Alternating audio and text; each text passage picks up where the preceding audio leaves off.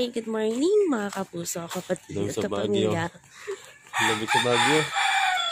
Hi, so January 4th. Today is January 4th and we just decided to do our walking. Um, Jericho.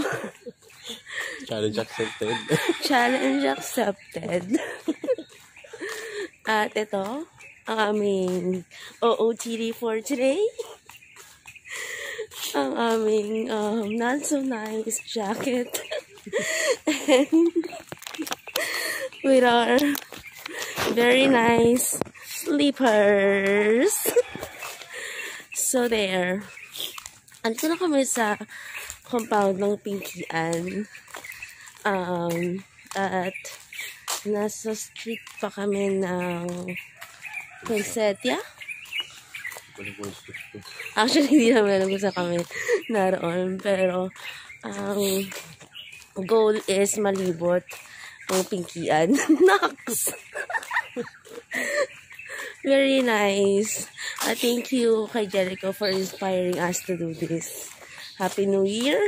And hopefully, uh, magawa namin to uh, hanggang, Jan hanggang matapos ang January. See you later. Sige. Hello, good morning, Mai. Hi! Good morning! Morning. Second day po ng aming walking.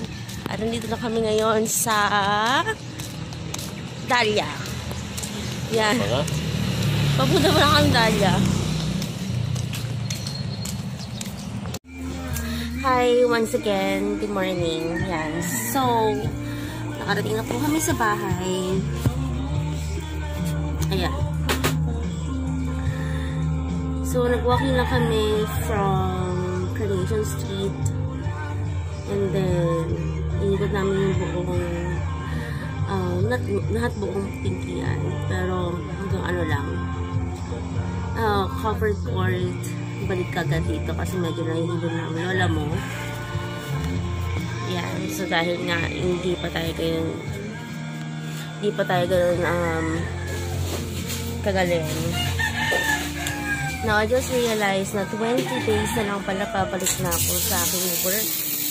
Sa 20 days, kailangan ko mag-lose weight. And as you can see, medyo, ayan, parang meron pa akong baby.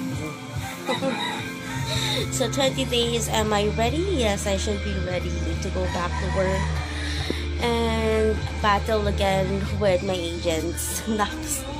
Pero I miss all my colleagues there in Zaitel. Hello. Happy New Year po sa inyong lahat. Hopefully pagbalik ko, may pa sparkles. Happy New Year lang e- effect.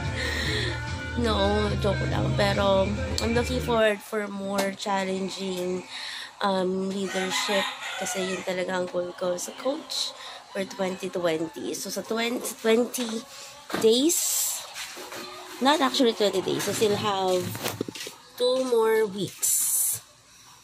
Yan, two more weeks. At hopefully, pagbalik ko yan. So, 20, that will be on next Monday. Next, next Monday. So, abangan ko ano ang mangyayari sa akin. Pagbalik ko sa work. Good luck to me!